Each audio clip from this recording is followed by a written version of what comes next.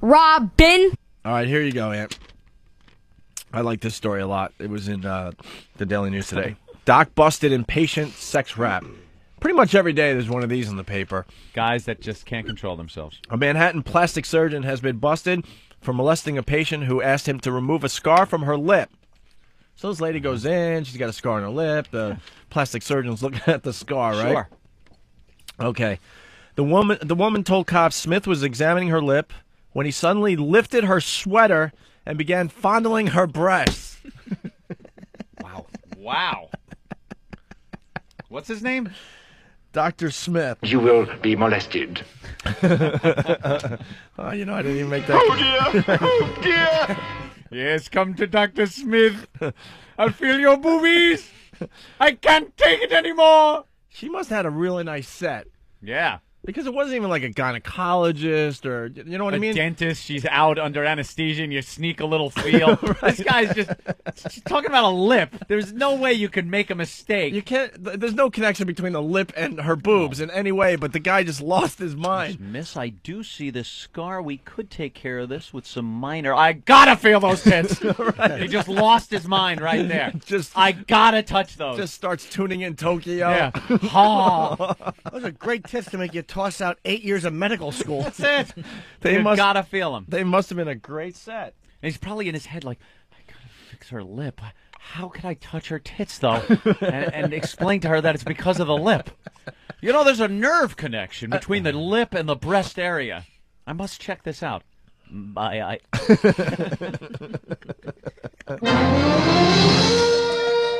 Please look at that lip. Come here closer.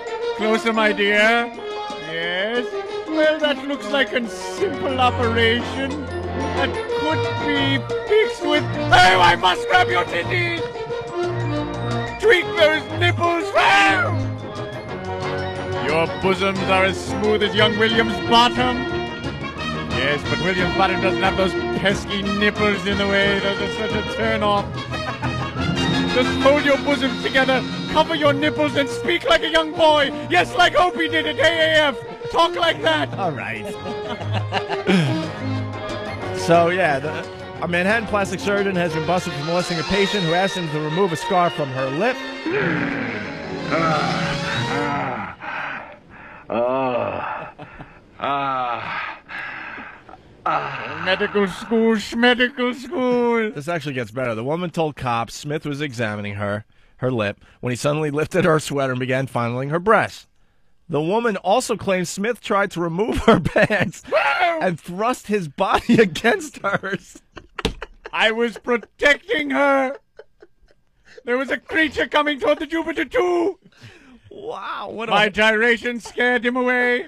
What a horn dog, man. That guy just couldn't take it. he just lost his mind. He couldn't. ta- Little Jimmy doesn't do that. No, especially not with pants. A skirt you can just lift up and Right. jump on, but how do you unbutton and unzip pants? What is Pulling wrong with her this guy? pants down. He's looking at the lip. All of a sudden, he just pulls her sweater up, starts fondling her boobs, and then tries to rip her pants down.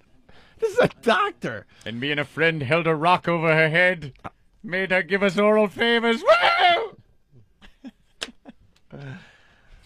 Uh, all right, and then it continues. But in a secretly taped phone call after the incident, Smith told the woman he had a good excuse for the surprise exam. I gave her a choice: sit on the sticker bushes or let me touch your boobies. She opted for the sticker bushes. Woo! His excuse? He wanted to see if she had enough sensation for him to give her a tummy tuck if she wished it. Oh, that makes sense.